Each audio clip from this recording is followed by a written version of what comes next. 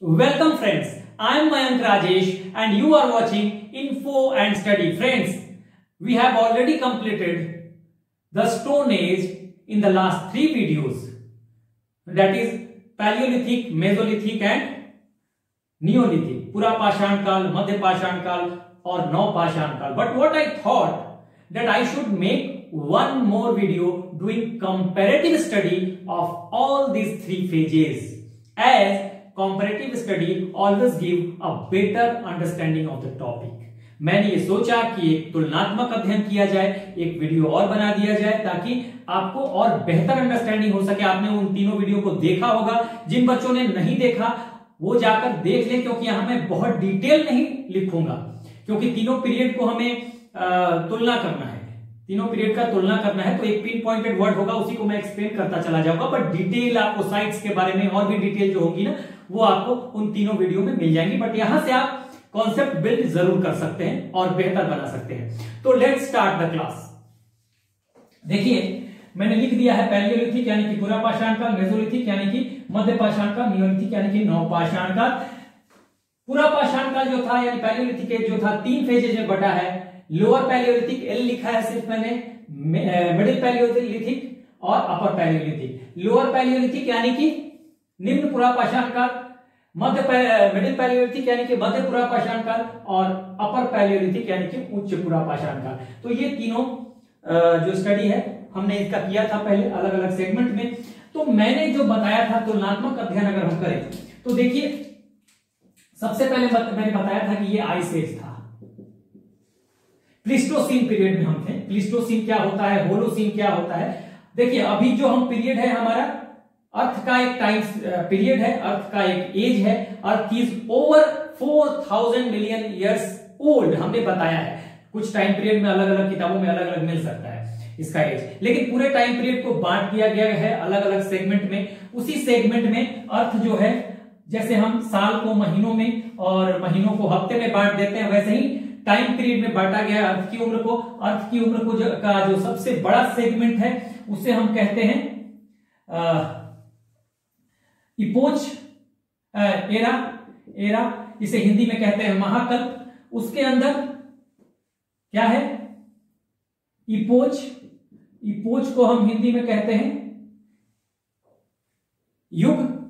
और इसके अंदर है सबसे छोटा जो टाइम पीरियड है, इसे हम कहते हैं पीरियड पीरियड इसे हम कहते हैं कल्प या शक। सबसे बड़ा पीरियड एरा इसे कहते हैं महाकल्प उसके, उससे छोटा पीरियड, इपोत जिसे कहते हैं युग, और सबसे छोटा अर्थ का जो एज है, उसका सबसे छोटा सेगमेंट जो है, सबसे छोटा टाइम पीरियड जो है, उसको कहा गया है पीरियड जिसके हिंदी में कहते हैं शक या कल्प। जैसे साल के अंदर महीने हो गए, और महीने के अंदर हफ़्ते हो गए, हफ़्ते के अंदर दिन हो गए, दिन के अंदर घंटे हो गए, घंटे के अंदर मिनट हो गए, इसी तरह से अर्थ का जो जो पूरा उम्र है, उसका सबसे बड़ा सेगमेंट है एरा, जिसे महाकल्प कहते हैं। फिर महाकल्प को भी बांट दिया गया। महाकल्प को छोटे छोटे टुकड़ों में, उसको कहा गया इपोच या युग, और हर युग को और छोटे छोटे टुकड़ों में बांटा गया, जिसको कहा गया पीरियड। तो इस पीरियड में हम कहते हैं कि एक पीरियड है, आपको होलोसीन और एक पीरियड है प्लिस्टोसिन। दो पीरियड की हम बात कर रहे हैं, ठीक है? मैं बता देता हूँ कि अभी का जो टाइम पीरियड है, उसे कहते हैं Holocene. That is the present time period और इसके पहले जो टाइम पीरियड था, जो कल्प या शक था, उसको कहते हैं प्लिस्टोसिन, ठीक है? तो अभी हम लोग होलोसिन पीरियड में और होलोसिन के जस्ट पहले था प्लिस्टोसिन। देखिए, ऐसे बांटा गया था, एक बार समझ लीजिए। जो एरा है, एरा, और एरा के बाद आपको एरा, इपोच, और इपोच के बाद पीरियड, ठीक है? ये देख लीजिए जल्दी जल्दी। Pre Palaeozoic Palaeozoic pre Palaeozoic Palaeozoic Mesozoic, Neozoic Cenozoic Cenozoic और मेसोजोइक, ठीक है? इस तरह का था। और फिर इसको जब बांटा गया था इपोच में, इसका कोई उपोच नहीं था। इसको कहते थे प्राइमरी इसको कहते थे, आप वीडियो में देखिएगा सेकेंडरी ठीक है सेकेंडरी इसको कहते थे टर्शियरी टर्शियरी और इसको कहते थे क्वार्टरनरी क्वार्टरनरी यानी कि प्राथमिक, द्वितीयक, तृतीयक और चतुर्थक। इसको जब पीरियड में बांटा गया तो इसके दो पीरियड निकले, इसके छह निकले, इसके तीन निकले, फिर इसके पाँच निकले और इसके दो निकले। ठीक है? तो दो में आप देखिएगा क्वार्टरनरी में आपको क्वार्टरनरी को जब बांटा गया तो एक है Pleistocene. P L E, Pleistocene और एक है होलोसिन। होलोसिन। तो ये जो था, अभी हम होलोसिन पीरियड में ठीक है? इसके पहले प्लिस्टोसिन था, ये मैं बताना चाहता हूँ। देखिए, अर्थ के एज को कैसे बांट दिया गया डिफरेंट टाइम पीरियड में। तो ये क्वार्टनरी प्लिस्टोसिन और होलोसिन, ठीक है? तो अब इसको ही समझाना था मुझे कि ये अब टाइम पीरियड अगर आपने समझ लिया तो इसका मतलब ये है कि यहाँ मैं बता दूँ कि अभी हम होलोसिन में थे और जब ये शुरू हुआ था तो ये हिम युग था, प्लिस्टोसिन पीरियड था। और प्लिस्टोसिन पीरियड में आइस था, बर्फ़ था, यानी हिम युग था। तो ये भी आइस एज था और ये भी आइस एज था। ठीक है ना, जब शुरू ये प्लिस्टोसिन पीरियड है। और जैसे ही हम अपर पैलियोलिथिक पीरियड में आएँगे अपर पैलियोलिथिक एज में आएँगे, यानी उच्च पूरा पाषाण काल में आएँगे तो इसके समाप्ति तक मौसम थोड़ा गर्म होना शुरू होगा और ये बदल के यहाँ पर हो जाएगा आ, ये होलोसीन में। होलोसीन यानी दो पीरियड तक एंड तक होलोसीन आ जाएगा। ठीक है? होलोसीन आ जाएगा और यहाँ पर तो अब होलोसीन होगा ही।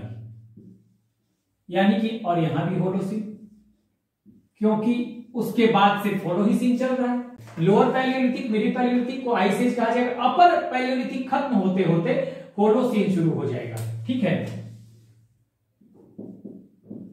होलोसीन तो ये होलोसीन का मतलब ये है कि यहाँ पर आकर ये आइस एज जो है, देखिए यहाँ भी आइस एज यहाँ भी ice age upper Palaeolithic age खत्म होते होते आइस एज की समाप्ति, यानी कि होलोसीन पीरियड शुरू तो फिर यहाँ भी होलोसीन, यहाँ भी होलोसीन। और यहीं पे जब होलोसीन आया है तो यहाँ पे होमोसेपियंस होमोसेपियंस यानी कि आधुनिक मानव यहीं पे आ जाएगा। ठीक है? तो होमोसेपियंस तो फिर यहाँ भी होमोसेपियंस और यहाँ भी होमो सेपियंस अब होमोसेपियंस के बारे में मैंने बता दिया था। क्यों? क्योंकि अपर पैलियोलिथिक पीरियड में, ध्यान रखिएगा, कहीं भी पूछा जा सकता है एग्ज़ाम में कि होमोसेपियंस किस युग में आया? तो उच्च पुरापाषाण काल में ही आया था। इंडिया की बात मैं कर रहा हूँ। और होलोसीन पीरियड में जब हिम युग की समाप्ति हो गई थी आइस एज की समाप्ति हो गई थी होलोसीन पीरियड में आया है। ठीक है? और कब आया है? हमने टाइम पीरियड बताया। चतुर्थक युग। ठीक है? चतुर्थक यानी क्वार्टरनरी इपोच के होलोसीन पीरियड में क्वार्टनरी क्वार्टरनरी इपोच में, यानी चतुर्थक युग में मैंने बताया, दो पार्ट में है, अभी अभी बताया था। वो जो है, एक है आपको प्लिस्टोसिन, जो कि यही है, प्लिस्टोसिन पीरियड। आइस एज को ही कहते हैं प्लिस्टोसिन पीरियड। और उसके बाद आएगा होलोसिन। वर्तमान में हम होलोसिन में हैं। इसके पहले का जो समय था, वो था प्लिस्टोसिन। तो जान लीजिए, होलोसिन में आता है होमोसेपियंस और होमोसेपियंस के बारे में मैंने बताया था कि कैसे इसका डेवलपमेंट हुआ। जब मैंने बताया था कि भाई, ह्यूमन का डेवलपमेंट कैसे हुआ, क्योंकि इतिहास की शुरुआत तब होगी, जब ह्यूमन धरती पे आएगा। और मैंने बताया था कि किस किस तरह से मानव का डेवलपमेंट हुआ। तो सबसे पहले मैंने बताया था कि अफ्रीका के जंगलों में से एक डेवलपमेंट हुआ था, एक स्वरूप निकल के आया था उसका नाम था रामापिथिकस, और ये प्राइमेट का एक के ग्रुप से निकल के आया था रामापिथिकस। और रामापिथिकस जो था, एक मंकी का एक प्राइमेट जो होते हैं, प्राइमेट के ग्रुप में एक ग्रुप था मंकी का, जिसको कपी या वानर भी बोलते हैं। उस ग्रुप से मैं यहाँ पे एक बार फिर बता देता हूँ यहाँ पे मोंकी कह लीजिए, या कपी कह लीजिए, वानर।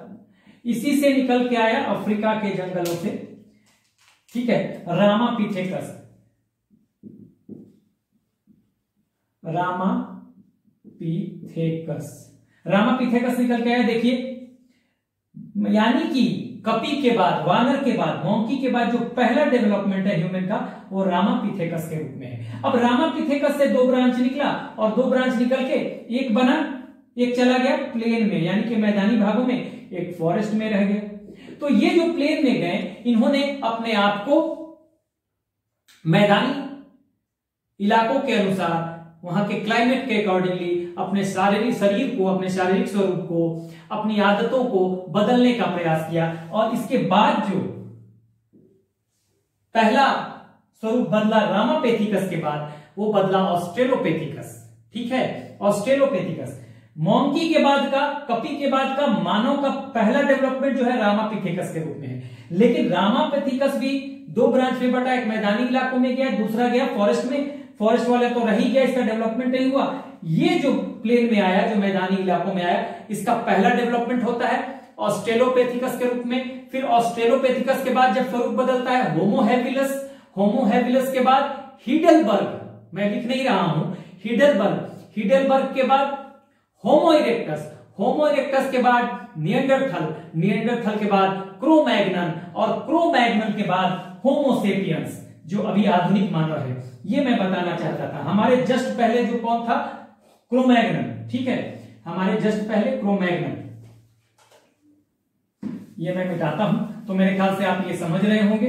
यानी कि इस एज में होमोसेपियंस आ गए, अब सारा होमोसेपियंस है सारे यहाँ से उच्च गुड़ा पाषाण काल से होमोसेपियंस आ गए, ठीक है? अब दूसरी बात, आगे बढ़ते हैं। यहाँ पे जो था ह्यूमन का लाइफ कैसा था? Fishing plus hunting plus food gathering, ठीक है? गैदरिंग। यहाँ पे था। सिर्फ़ खाना बदोश nomadic life pastoral life pastoral life का मतलब खाना बदोश गए, कुछ भी मिला, खा लिए, कहीं से फिशिंग किया हंटिंग किया। यानी आदमी यहाँ पर फ़ूड गैदरर है। ओनली शिकार करता है फ़ूड गैदरिंग करता है। लेकिन यहाँ पर, ये तो रहेगा ही देखिए। यहाँ पर ये तो है। ये तो रहेगा। लेकिन इसके अलावा, यहाँ पर इंसान ने क्या किया? डोमेस्टिकेशन शुरू कर दिया। डोमेस्टिकेशन ऑफ़ एनिमल्स मैंने बताया था वीडियो देखेंगे आप। तो मेजोलिथिक एज में आपको मध्य पुरा पाषाण मध्य पाषाण काल में पशुपालन शुरू हो गया। ठीक है? पशुपालन शुरू हो गया, ध्यान रखिएगा। लेकिन पशुपालन यहाँ बस, पशुपालन है, बस शुरुआत हुई। कॉमर्शियल यूज़ यहाँ पे होगा। ठीक है? तो अब डोमेस्टिकेशन तो यहाँ रहेगा ही।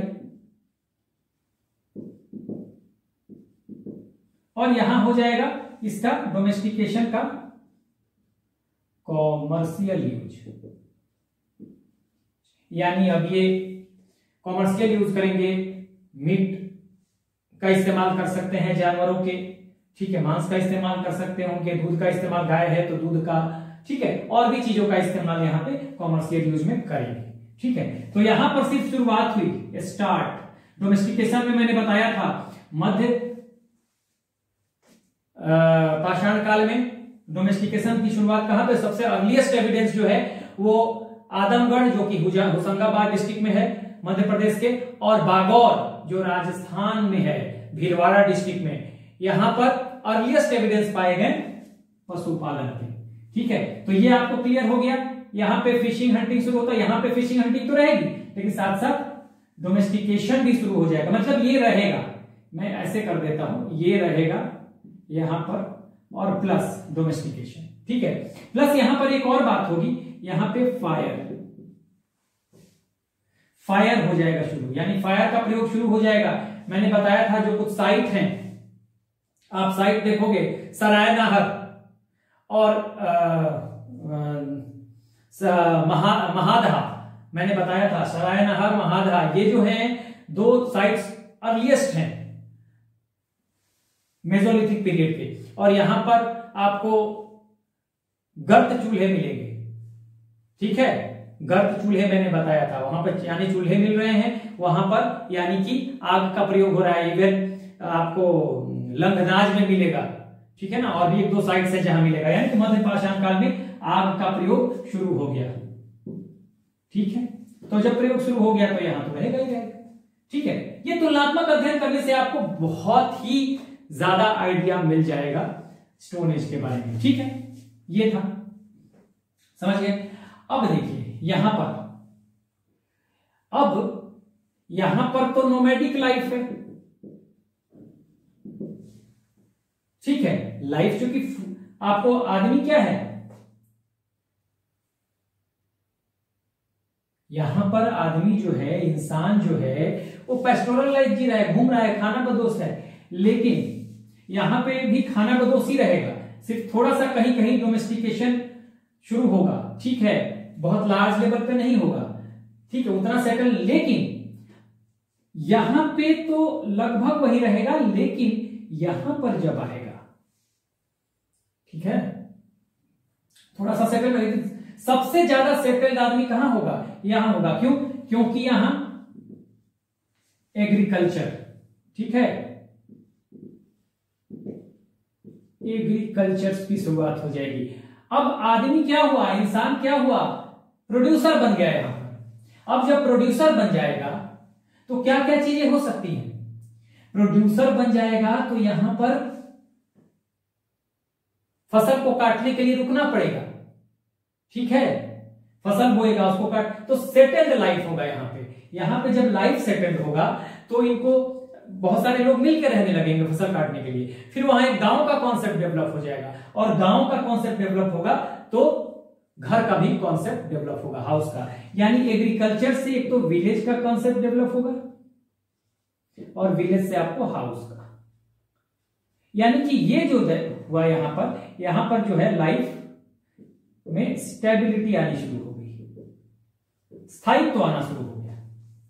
समझ में बातों को? अगले पॉइंट को देखते हैं। अब देखिए। मेरे ख्याल से इतना तो आप समझ गए होंगे।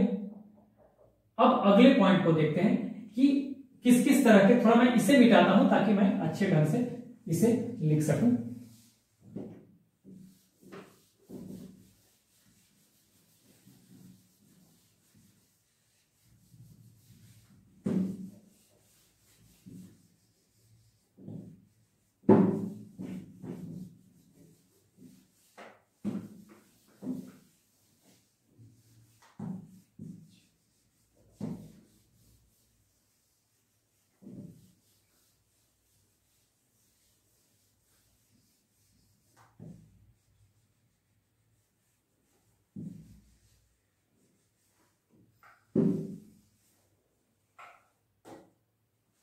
अब देखिए, यहाँ के इंप्लीमेंट्स या उपकरण कैसे हो गए ठीक है, उपकरण देखिए। यहाँ पे मैंने बताया था कि जब ये तीनों फेजेज हमने पढ़ा था, यहाँ पर कोर संस्कृति है, यहाँ पर फ्लेक संस्कृति है, और यहाँ पर ब्लेड संस्कृति है। ठीक है कोर संस्कृति में हमने बताया था कि जो जानवर अभी थोड़े बड़े हैं हीमेज में, ठीक है यहाँ पे आएँगे तो फ्लेक शुरू हो जाएगा, फिर ब्लेड जो है, ये तो रहेगा ही, सारे रहेंगे बाद में, लेकिन ये अलग अलग स्वरूप में बदलेगा, रहेंगे तो सारे। देखिए कोर संस्कृति क्या थी? मैंने ये बताया था कि एक पत्थर है। हाँ ये डिफरेंट शेप का एक पत्थर है, जिसे पेबल कहते हैं। ये कहीं बह रहा है, और बहते हुए इसके किनारे टूट जाएँगे, नदियों में बहते हुए इसके किनारे टूट जाएँगे। फाइनली ये इस तरह का लगभग ऑलमोस्ट राउंड हो जाएगा। जब राउंड हो जाएगा तो इसी को जब ज़मीन पे मारेंगे हम, पेबल बोलते हैं इसको, पेबल, ठीक है, पेबल। तो इसको जब ज़मीन पे मारेंगे तो इसके टुकड़े बटेंगे, ऐसे ऐसे ऐसे ऐसे। तो ये जो, देखिए, ये जो होगा, ये, ऐसे, ये निकल कैसे आएँगे? ये निकल कैसे आएँगे? और ये बीच में कुछ बच जाएगा, ठीक है। ये वाला ये वाला पार्ट बच गया बीच का। तो ये कोर हो जाएगा बीच वाला, और ये फ्लेक हो जाएगा, ठीक है। तो यहाँ पे कोर का इस्तेमाल होगा। यानी कि कोर की विधि से आपको उपकरण बनाए जाएँगे और यहाँ पे फ्लेक का इस्तेमाल होगा। फ्लेक है, ये फ्लेक है जो किनारे से टुकड़े निकल गए, ये फ्लेक है, ठीक है? ये देखिए, ये फ्लेक है। तो ये फ्लेक जो होगा, ये मिडिल पैलियोलिथिक एज, मध्य पूरा पाषाण काल में ये यूज़ होगा। हाँ ये भी रहेगा, ऐसा नहीं कि नहीं रहेगा, लेकिन जानवर थोड़े कम, संस्कृति ये बढ़ जाएगी, इसका वर्चस्व बढ़ जाएगा। क्यों? क्योंकि यहाँ पर जानवर थोड़े छोटे होने लगेंगे, ठीक है? छोटे होने लगेंगे तो थोड़े छोटे औज़ार हो जाएँगे और यहाँ पे ब्लेड संस्कृति हो जाएगी। ब्लेड का मतलब दोनों तरफ़ से धार हो जाएगा यहाँ पे। ऐसे दोनों तरफ़ से जैसे धार होता है। तो ये औज़ार थे, सारे औज़ार इधर मिलेंगे। ये सारे औज़ार, इसमें परिवर्तन होगा बस थोड़ा सा। पत्थरों में जो मटेरियल होगा जिससे बनाए जाएँगे, वो उसमें परिवर्तन होगा। तो इसको हम देखते हैं।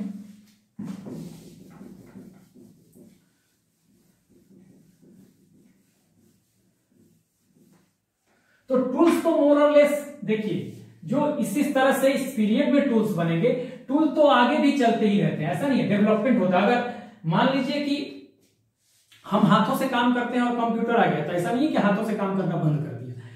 कंप्यूटर से भी कर रहे हैं, हाथों से भी कर रहे हैं। यहाँ पे भी ये कोर है, फिर डेवलप हुआ फ्लेक संस्कृति फ्लेक के बाद ब्लेड संस्कृति तो ये जो है, रहेगा सब आगे। लेकिन वर्चस्व बढ़ता जाएगा, इसमें परिवर्तन क्या होगा? परिवर्तन ये होगा कि, देखिए यहाँ पे आते आते न्यूलिथिक पीरियड में, ठीक है, आते आते क्या होगा कि ये जो इंप्लीमेंट्स है, उपकरण है, औज़ार है, ये इनमें पॉलिशिंग होने लगेगी। इनको अच्छी तरह से घिस के बनाया जाएगा, खूबसूरत होने लगेंगे, ज़्यादा शार्प होने लगेंगे। पॉलिशिंग होगी, शार्प हो जाएँगे। ये जो टूल्स हैं, ठीक है? जो इंप्लीमेंट्स बनाए जाएँगे शार्प होने लगेंगे, ठीक है? घिसे जाएँगे तो ये बेटर क्वालिटी हो जाएगा यहाँ पर। शाइन करेंगे ये, जो इंप्लीमेंट्स हैं, ठीक है?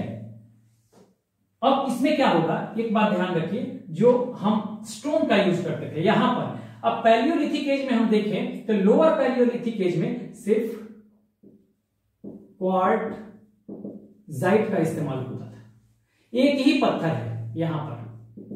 लेकिन अब यहाँ आएँगे तो यहाँ आएँगे तो यहाँ आते आते फ्लेक सिस्टम और ब्लेड सिस्टम में कुछ परिवर्तन होगा। और परिवर्तन क्या होगा?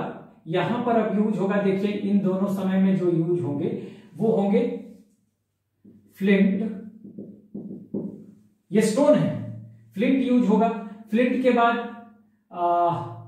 जेस्पर जेस्पर चर्ट ये यूज़ होने लगेंगे, ये आने लगेंगे यहाँ ठीक है? इसके इंप्लीमेंट्स बनने लगेंगे। ठीक है? यानी कि पैलियोलिथिक एज में जो स्टोन यूज़ हो रहे हैं पैलियोलिथिक में जो स्टोन यूज़ हो रहे हैं, वो पहले तो लोअर पीरियड में क्वार्टजाइट फिर फ्लिंट जेस्पर चेस्ट यानी टोटल जो हम यूज़ होगा क्वार्टजाइट होगा फ्लिंट होगा जेस्पर होगा चर्ट होगा। ठीक है? यहाँ भी ये रहेंगे स्टोन ये स्टोन यहाँ भी रहेंगे। ठीक है? लेकिन अब यहाँ क्या होगा? यहाँ कुछ और बढ़ जाएँगे। कैसे बढ़ेंगे? यहाँ पर जो स्टोन यूज़ होंगे, वो देखिए, ये तो रहेंगे यहाँ पे जो उपकरण बनाने के लिए टूल्स बनाने के लिए जो इस्तेमाल हो रहे हैं। तो एक तरफ़ तो मैंने लग कर दिया ये पैलियोलिथिक एज का क्वार्टजाइट इस्तेमाल होगा ही। ठीक है फ्लिंट भी इस्तेमाल होगा जैस्पर भी इस्तेमाल होगा चर्ट भी इस्तेमाल होगा, लेकिन इसके अलावा यहाँ जो और इस्तेमाल होंगे, वो होंगे कार्नेलियन। ये जुड़ जाएँगे। इसके अलावा कार्नेलियन, स्फटिक, ये कीमती पत्थर है, ठीक है। आर्गेट कैल्सीडोनी ठीक है। तो ये पूरा पाषाण काल।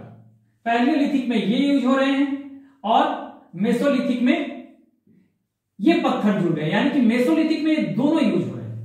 दोनों। ठीक है? ये भी यूज़ होंगे, ये भी यूज़ होंगे। तो एग्ज़ाम में आ सकता है ठीक है? ठीक है कि कौन सा पैलियोलिथिक एज में था, कौन सा दोनों में था और कौन सा सिर्फ़ मेसोलिथिक में था, ये पत्थर आगे भी चले जाएँगे। अंतर क्या बताया मैंने? इनसे तो इंप्लीमेंट्स बनाए जाएँगे। ये आगे जाएँगे, लेकिन फिर ये पॉलिश होंगे, इससे जो टूल्स बनाए जाएँगे, जो टूल्स होंगे, जो उपकरण होंगे, या औज़ार होंगे, ये जो होंगे, ये अच्छी तरह से पॉलिश होंगे, घिसे हुए होंगे, साफ़ होंगे, खूबसूरत लगेंगे, ठीक है? तो ये आपको अंतर है। देखिए क्वार्जाइट हुआ फ्लिंट जेस्पर चर्ट जो कि पैलियोलिथिक एज में, पूरा पाषाण काल में मेसोलिथिक में आते आते ये तो है ही, जो कि पैलियोलिथिक में एज में पूरा पाषाण काल में हो रहे हैं। साथ साथ कार्लेनियन स्फटिक आर्गेट कैल्सिडोनी ये सारा जुड़ गया। आगे यही स्टोन जारी रहेंगे, लेकिन अब इसी स्टोन को, से जो औज़ार बने हैं, उनको और बेहतर बनाया जाएगा। ठीक है? तो ये एक बहुत ही इंपॉर्टेंट जानकारी थी हम अगर कंपैरेटिव स्टडी कर रहे हैं तो। ठीक है? तो ये चीज़ें हो गई। इसके अलावा आप देखेंगे तो यहाँ पर कुछ जो मिलेंगे यहाँ पर, वो बोन्स की भी शुरुआत हो जाएगी। बोन्स के इंप्लीमेंट्स भी मिलेंगे, हड्डियों के। ठीक है ना? हड्डियों के ऊपर बहुत बड़े पैमाने पर नहीं मिलेगा, लेकिन कुछ जगहों पे मिलेगा, जैसे महाधा में आपको यहाँ पे मिलेगा बोन का उपकरण। ठीक है? दो जगहों पे मिलेंगे। लेकिन हड्डियों का ये उपकरण जो है बोन्स का, ये लार्ज स्केल पे यहाँ मिलेगा। बड़े पैमाने पर, जैसे चिरांद में, मैंने बताया था, चिरांद सारण डिस्ट्रिक्ट में पड़ता है बिहार में। यहाँ पे हिरण के हड्डियों के और हिरण के सिंह के बड़े पैमाने पर मिले हैं उपकरण टूल्स और एक जम्मू एंड कश्मीर में भी मिलेगा। ये तो है बिहार में। ये बिहार में है। ठीक है। ये गुफ कराल। कराल। तो ये कश्मीर में है ये। ठीक है ना? ये जो है, कश्मीर में। गुफकराल गुफकराल में अगर जम्मू कश्मीर की पूरी बात करें तो वहाँ पर सबसे ज़्यादा जो हड्डियों के उपकरण मिले हैं, वो गुफकराल से मिले हैं। ठीक है। तो ये यहाँ तक हमने देख लिया, बहुत इंपॉर्टेंट हमने कंपेरेटिव स्टडी कंपेरेटिव स्टडी हमने की है। एक पॉइंट और है जिसे आपका समझना ज़रूरी है। पॉइंट तो बहुत है, लेकिन मोटा मोटी हम इस क्लास को देख रहे हैं, इस क्लास को ले रहे हैं, क्योंकि पूरा डीप स्टडी मैंने कराया हुआ है, बाकी के तीन वीडियो में, पिछले वीडियो को आप जाके देखिएगा। ठीक है? एक महत्वपूर्ण बात और बताना मैं चाहता हूँ। हम कैसे समझें कि जो डोमेस्टिकेशन था, वो लार्ज स्केल पे नौपाषाण काल में हुआ। ठीक है, यहाँ पर। देखिए मैं आपको बताता हूँ।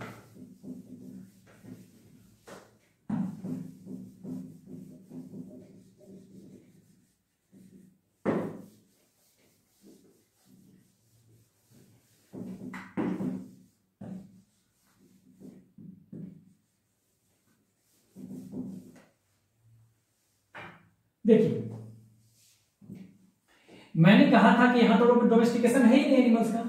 यहाँ पे शुरुआत हो गई, लेकिन व्यापारिक इस्तेमाल यहाँ पे नहीं हो रहा है डोमेस्टिकेशन का। यहाँ पे जो है डोमेस्टिकेशन का कॉमर्शियल यूज़ हो रहा है।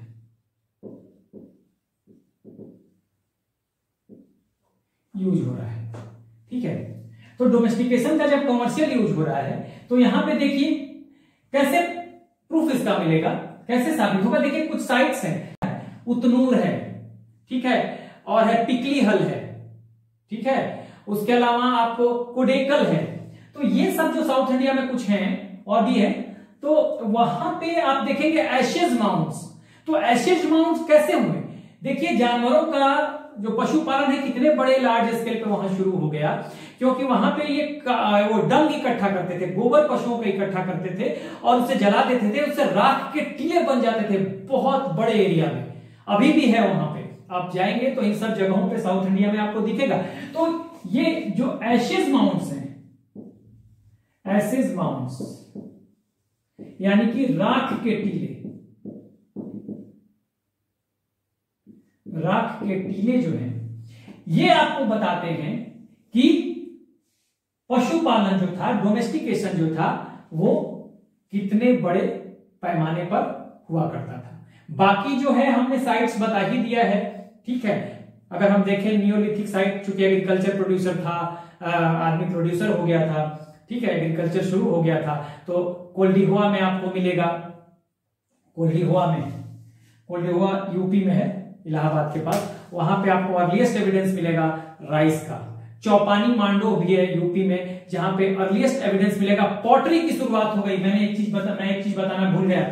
यहाँ पे जब आएँगे तो चूँकि एग्रीकल्चर शुरू हुआ है तो एग्रीकल्चर शुरू हुआ तो लाइफ की स्टेबिलिटी आ गई। स्टेबिलिटी आ गई तो लोगों ने विलेज का कॉन्सेप्ट डेवलप किया। विलेज का कॉन्सेप्ट हुआ तो गाँव का घर का कॉन्सेप्ट हुआ।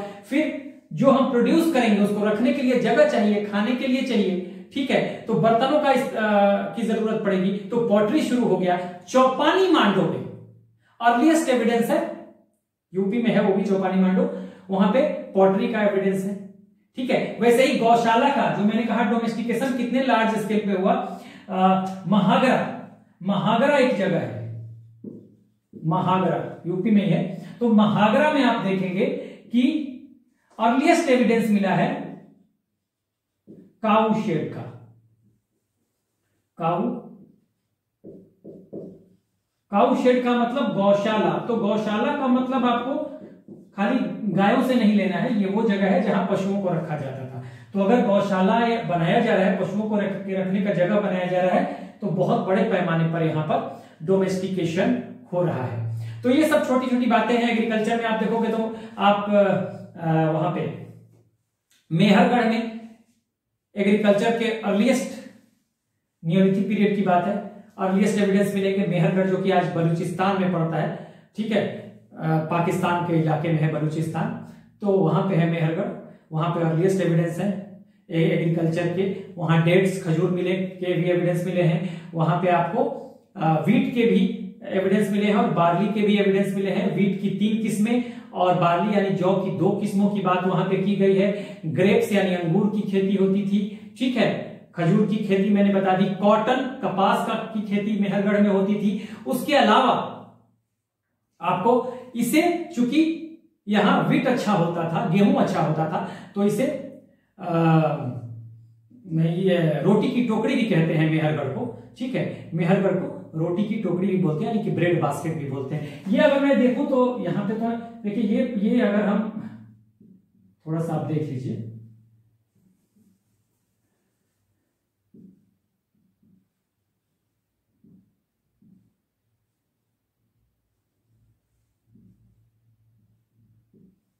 ये मैं रफ एक ड्राफ्ट अगर करता हूँ तो देखिए ये ये जो है पाकिस्तान है ये पा, ये पाकिस्तान है ठीक है ना? ये पाकिस्तान है। पाकिस्तान में यही इलाका जो है ये बलूचिस्तान का इलाका है और यहीं पे मेहरगढ़ मिलेगा ठीक है? यहीं पे मेहरगढ़ बलूचिस्तान में। तो ये मुझे बताना था कि कंपेरेटिव स्टडी करनी है। सारी चीज़ें तो इस वीडियो में नहीं हो सकती बाकी तो मैं डीप बता ही चुका हूँ। काफ़ी गहराई से मैंने काफ़ी एक्सप्लेनेटरी वीडियो बनाई है। तीन वीडियोस आप जाकर उसको देखिए और फिर इस वीडियो को भी देखिए। तो कंपेरेटिव स्टडी करेंगे तो मेरा पूरा दावा है कि ये जो कॉन्सेप्ट होगा स्टोन एज का, आपका बिल्कुल बढ़िया से बिल्डअप हो जाएगा। So do like share and subscribe all the best